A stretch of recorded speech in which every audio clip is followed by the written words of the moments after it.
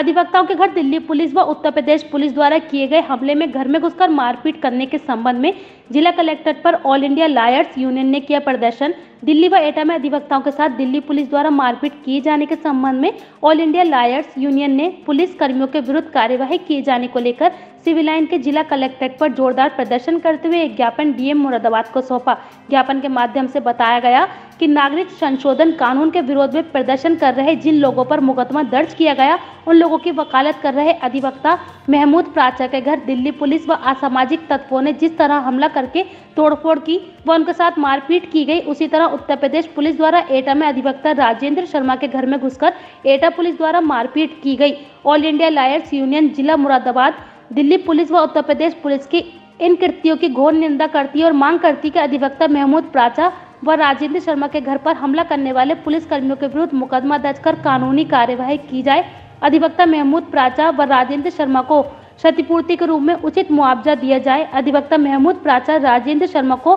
पर्याप्त सुरक्षा प्रदान की जाए। जी भाई साहब। आज की को लेकर ये आज हम जो दिल्ली में महमूद प्राचा जो सुप्रीम कोर्ट के वकील हैं जो सीए के खिलाफ जिन लोगों को झूठा फंसाया गया है उनके मुकदमों की पैरवी कर रहे थे उनको और जिनके पास दिल्ली पुलिस के खिलाफ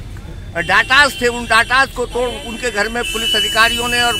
असामाजिक तत्वों ने घुस में घुस कर मारपीट किया है उन पर हमला किया है। इसी तरह उत्तर प्रदेश की पुलिस, जो पुलिस वालों के खिलाफ मुकदमा लड़ रहे थे, एटा के वकील राजेंद्र शर्मा, उनके घर में घुस के भी उन पर अमानवीय अनमानवीय कृत्य किए हैं, अत्याचार किए जाति किए हैं। उनके खिलाफ आज हम ऑल इंडिया लायर्स यूनियन के लोग यहाँ प्रदर्शन कर रहे हैं और जिलाधिकारी के माध्यम से महमूद प्राचा और राजेंद्र शर्मा पर हमला करने वाले लोगों को पुलिस कर्मियों के खिलाफ मुकदमे दर्ज कर उन्हें उनके खिलाफ कार्रवाई करने की मांग करते हैं। साथ ही उन्हें उचित सुरक्षा की मांग करते हैं और पर्याप्त मुआवजा दिए जाने की मांग करते हैं। इस सवाल पर मेरा नाम विक्रम सिंह है मैं ऑल इंडिया लायर्स